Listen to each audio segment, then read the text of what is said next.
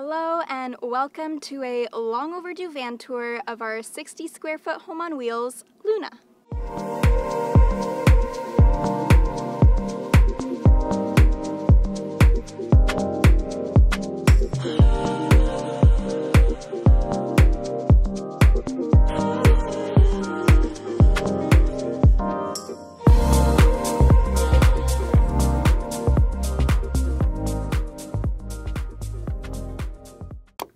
Starting with the captain's chair, Luna is a 2018 144 inch wheelbase Mercedes Sprinter van 2500 with a diesel engine, and I'm very grateful to say I got Luna brand new, so since then we've put on 148,000 kilometers worth of pure travel and adventure all around Canada, the States, and now Mexico.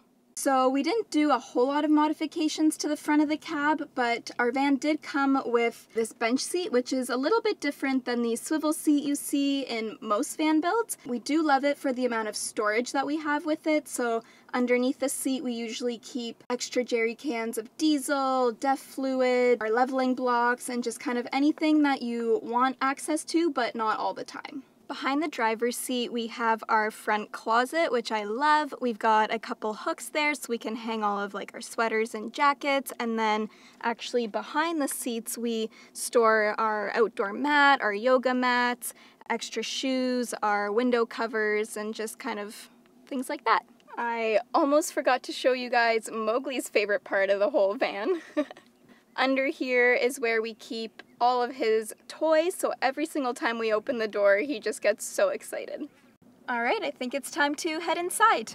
But first, Dayne and I do post weekly videos to our YouTube channel every Sunday all about this lifestyle and various forms of travel and adventure, so if you want to hit that subscribe button, we would absolutely love it. But anyway, shoe storage. My shoes, Dayne's shoes, absolutely love having a spot for all of our shoes. And down here we also keep things like our tripod, broom, and just kind of other little cleaning supplies. Also, whenever I say self-converted, I fully mean with all the help in the world from my friends Nicola and Mitch, as well as my dad. Could not have done any of this build without them, and with that, let's show you the kitchen.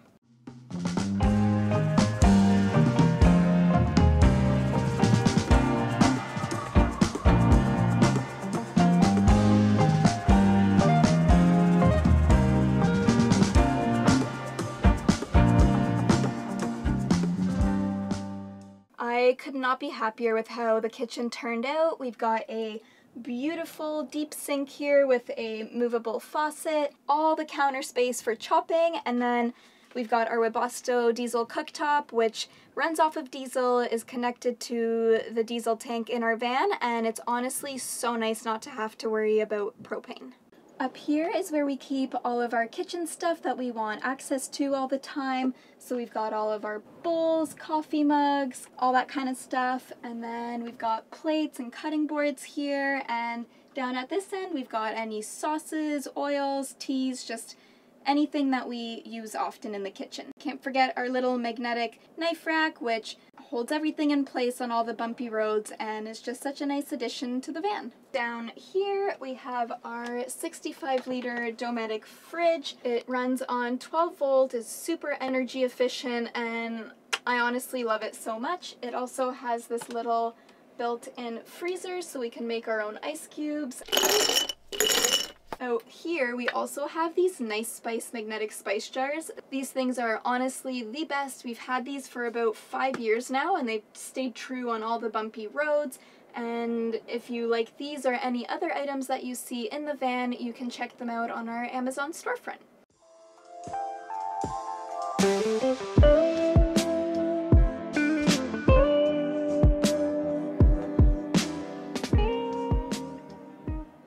Next we have these beautiful custom built drawers.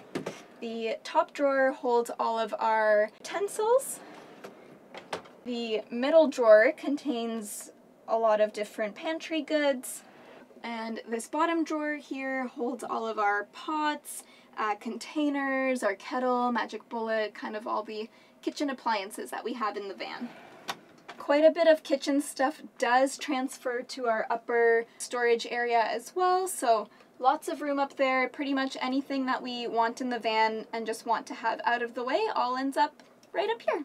Ooh, cannot forget about these jars. I found the idea on Pinterest and I absolutely love it. So the top four uh, jars we use for drinking glasses and then the bottom six hold different nuts and seeds and things like that. A must-have for living in a van in Canada is obviously some sort of heating system and we have the Webasto diesel heater just under the drawers here. It's allowed us to take ski trips all over British Columbia and Alberta. We even went up to the Yukon and hit negative 30 degrees Celsius and the whole time we were nice, warm and cozy in the van here. We have a 12 volt fantastic fan in the roof. It's got three different speeds. It is a must when you're cooking, gets all the humidity out, and when it's a super hot summer night, cools down the van. In this cubby is where we keep all of our toiletries. So we've got our toothbrushes, lotions, and I also love having this set mirror here as well for when I'm getting ready.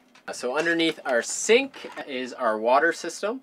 We have 21 gallons of fresh water, which is fed in through the outside of the van, and we have a seven gallon gray water tank here. We also kind of use this just as a storage area, so we got an almond cow, an extra big pot, Mowgli's food, but the most important thing under here is our pee funnel. It is absolutely mandatory to have a pee funnel. That way you don't have to get outside of the van in the middle of the night when it's all cold if you gotta go absolutely cannot forget mentioning my wine rack. This is something that Mitch actually surprised me with in the build, and it is just my favorite thing ever. Well, we're down here, show you this one, which is basically uh, where we keep our garbage, a little bit of TP, a bit more storage for things like garbage bags, cleaning supplies, yeah. So something that I've added to the van since moving in is I've upgraded the electrical system. We did have a couple of AGM batteries before, but uh, those eventually died on us. And so just before this trip down to Baja, we put in 200 amp hours of lithium ion batteries. So you just gotta lift it here. Hit that. It's designed so it doesn't rattle. And this whole system just opens up here like that so you have easy access. We have our 200 amp hour lithium ion batteries down here. This is an 1500 watt inverter which powers all our 120 volt electronics like our cameras and our laptops and stuff. Very important, you need one of these from switching from a 12 volt system. Over here we got our solar controller which converts the solar into usable power as well. And then we added this guy down here in Mexico. It's shore power, so now we can actually plug into a regular 120 volt plug like you would have at your house, and that charges up our whole system. Our new batteries and solar charge controller are Renogy, and we got these little Bluetooth things that we can plug into them so we can actually keep track of the whole thing um, from an app on our phone, which is super handy. With this, we have three ways of powering it. We have our shore power, um, we have 200 watts of solar panels on the roof here and we can actually charge while we're driving as well through our alternator.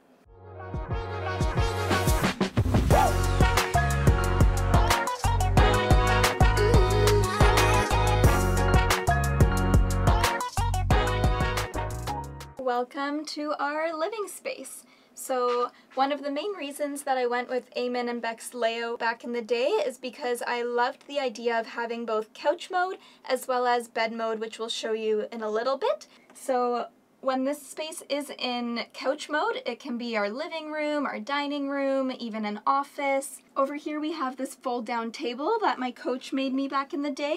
So you just stick this peg into the couch here and it folds down all nice. And there you go. You can eat your dinner here, get some work done, all the things, and it's just super nice and comfortable. Under here we also have extra storage. This is really only accessible when the bed is in couch mode, so we mostly just put things under here that we don't actually need every day. This is where we keep all of our clothes, so we have Dayne's side of the closet and my side of the closet. This little bookshelf is such a fun little feature as well. Um, up here, it's turned into Dayne's kind of nightstand area, and then this shelf just holds a few of my favorite books. And just down below we have a little diffuser with this blend bar, so it just makes it really like nice and homey in here. All right, let's get into bed mode. Welcome to bed mode.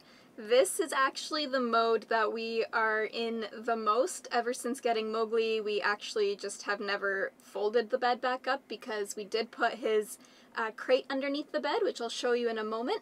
But all of these three cubbies do also become easily accessible when we are in bed mode. So back here, this is our laundry chute, and then this middle cubby is honestly just extra storage. And then this is my favorite little area my little nightstand. Alright, let's show you the kids' home. Down here is where we built Mowgli's crate. It used to have a little door here when he was super puppy, but now he's definitely outgrown it, but he just loves it under there so much that we've kept his bed there, and it's his cozy little corner of the van. Follow me around back, we'll check out our garage.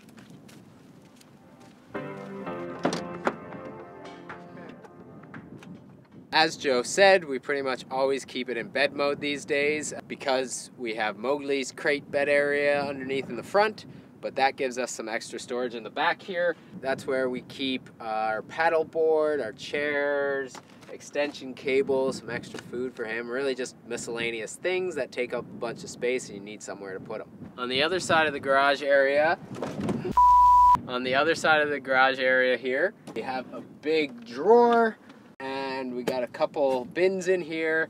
This is more extra storage. It's mostly filled with kind of our winter clothes at the moment. We keep our hose in here to fill up water, extra blankets, rain jackets, whatever we feel like. All right, the final part of the tour, let's head on up to the roof. I have to point out our stoked ladder. We got this in Squamish a couple years ago the best addition to the van. Don't know how I went so long without it, but it is really helpful when it comes to like shoveling snow off the solar panels or just cleaning the solar panels, just really getting up there. It's honestly so good.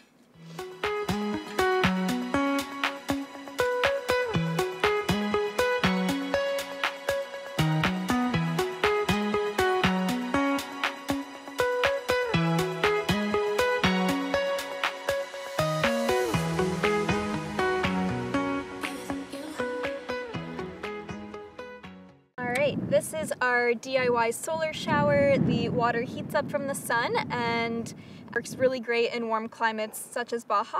And then behind me here we have 200 watts of solar. Five years ago this seemed like a whole lot. Nowadays I wish we had more so that'll probably be an upgrade we do in the near future. And then behind me here is a WeBoost as well. So it's a cell phone booster, kind of allows us to connect cell service when we're off grid if we need to. Wow, sit. Sit. Yeah, yes. that's a good boy.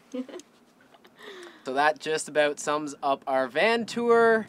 I seriously cannot believe it's taken me five years to film this, but we're so happy to finally get to share our little home with all of you guys. If you like the video and want to follow us along on some of our adventures, we have a whole Baja series out on our channel, so go back and check that out. And uh, we love you, we appreciate you, and see we'll you see in you the, in the next, next one. one.